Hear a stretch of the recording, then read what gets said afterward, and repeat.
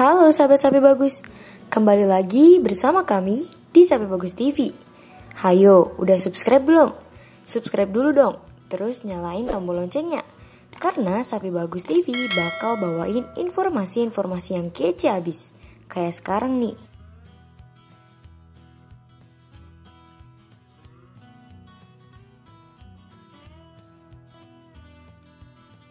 Sapi Bagus Farm sering kali menjelaskan bagaimana kondisi peternakan di beberapa belahan dunia, seperti benua Australia,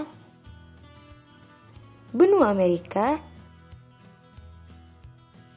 benua Eropa, dan benua Asia. Jarang sekali mendengar informasi tentang kondisi peternakan di benua Afrika. Benua yang terbilang memiliki wilayah yang cukup gersang dan kering itu ternyata memiliki peternakan yang sukses dan berkembang. Benua Afrika memiliki iklim yang mirip dengan negara Indonesia, yaitu tropis. Namun, perkembangan populasi sapi di sana cukup banyak. Padahal, Afrika terkenal sebagai daerah yang panas. Nah, sahabat penasaran gak sih Berikut adalah ulasan mengenai kondisi peternakan di benua Afrika, khususnya daerah Afrika Selatan.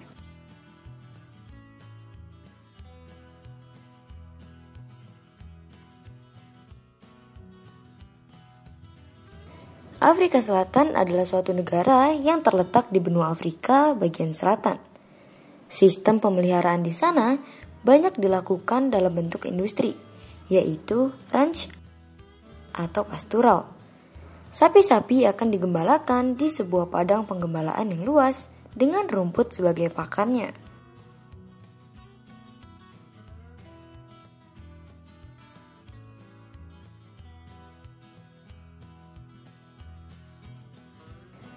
Meskipun memiliki cuaca yang cukup terik dan rumput-rumput yang kering, sapi-sapi yang digembalakan di sana memiliki tubuh yang gemuk dan besar.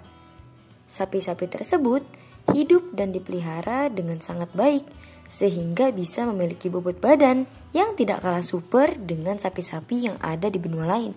Wah, luar biasa banget nih guys.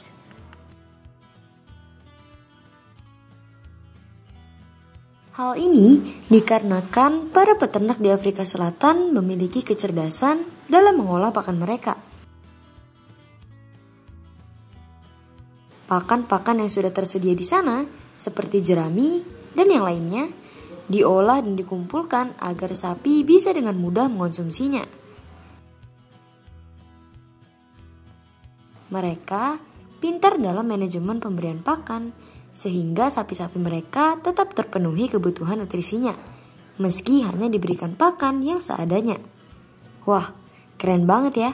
Rumputnya kering, tapi sapinya gemuk-gemuk Kerja bagus Afrika.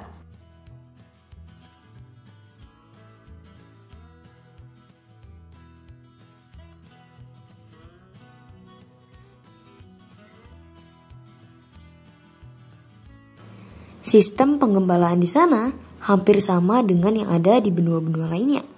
Sapi-sapi akan dilepas untuk berolahraga atau mencari makan dengan diawasi oleh seorang koboi yang menunggangi seekor kuda.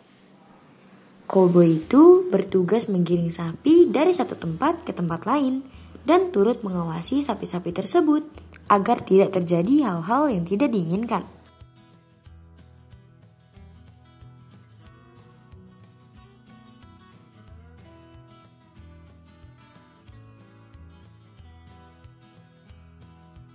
Nah, jenis sapi yang banyak dipelihara oleh peternakan Afrika Selatan adalah sapi berangus, Brahman, dan Ankolewatusi yang merupakan ras sapi murni asli yang berasal dari Afrika. Namun, mayoritas jenis sapi yang ada di sana adalah Brahman karena jenis sapi ini memiliki ketahanan terhadap cuaca panas.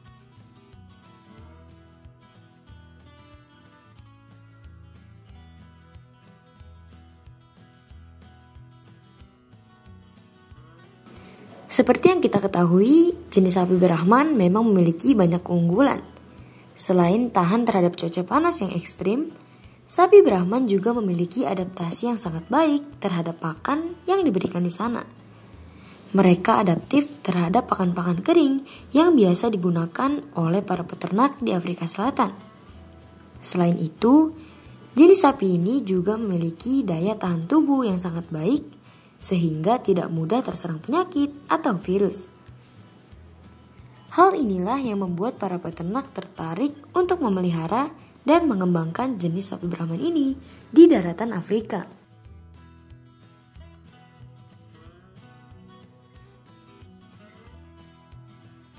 Eits, gak cuma itu loh guys.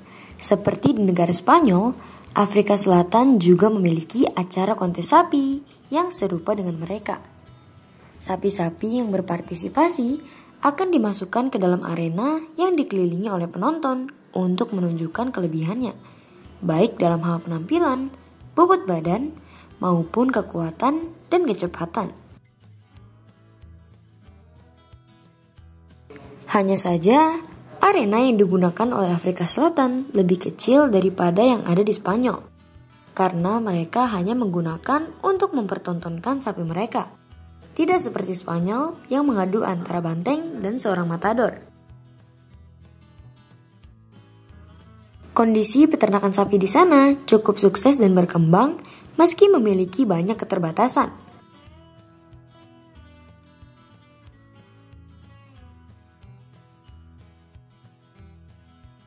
Hal ini membuktikan bahwa daerah mana pun berpotensi menjadi lahan pengembangbiakan sapi-sapi kalau tahu bagaimana ilmunya dan bagaimana manajemennya.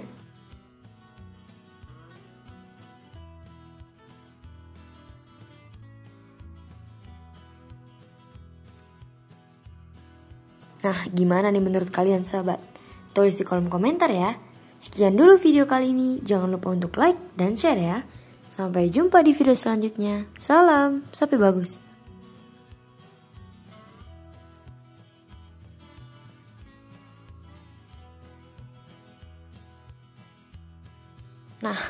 Buat sahabat sapi bagus yang berminat mengikuti pelatihan bisnis sapi reguler ataupun in-house training untuk perusahaannya, bisa langsung menghubungi Sapi Bagus Farm di kontak person berikut ini.